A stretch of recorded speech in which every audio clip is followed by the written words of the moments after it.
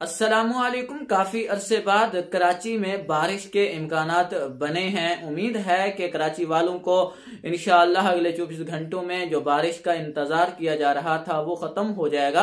अगले 24 घंटों के दौरान कराची के अक्सर मकाम पर, यानी आज शाम रात से कल के दौरान, कल शाम रात तक बादल बनने के इम्कान मौजूद हैं। उम्मीद है कि गरज चमक के बादल तश्कील पाएँगे और ये सिस्टम सबसे जो अच्छी बारिशें देगा वो इन्हीं जनूबी इलाकों में इनशाला देगा कराची के आसपास के इलाके हैदराबाद, ठट्ठा, बदीन के इलाकों को हम शुमार कर लें तो इन इलाकों में भी इनशाला अच्छी बारिश देखने को मिलेगी और कराची वालों को इस साल भीगा भीगा दिसंबर भी देखने को मिल जाएगा। इसके बाद जो है कराची में अगले छह दिनों के लिए मौसम खुश्क रहेगा हल्के फुल्के बादल बनते रहेंगे। कोई सर्दी की शदीद लहर के इम्कान तो नहीं है।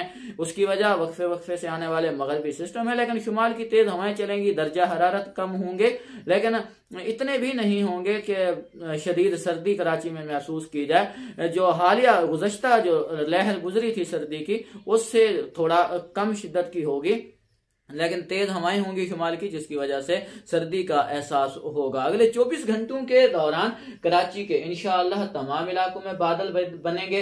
लेकिन याद रखें कि कहीं हल्की, कहीं दरमियानी तो कहीं तेज बुछाड़ें भी देखने को मिल सकती हैं। जहाँ थंडर सेल अच्छा रहेगा, वहाँ पर मूसलाधार बारिश भी मुख्तसर दौराने के लिए देखने को मिल सकती है। तेज हवाएँ भी इन इलाकों में हमरा होंगी और गरज चमक भी देखने को मिलेगी।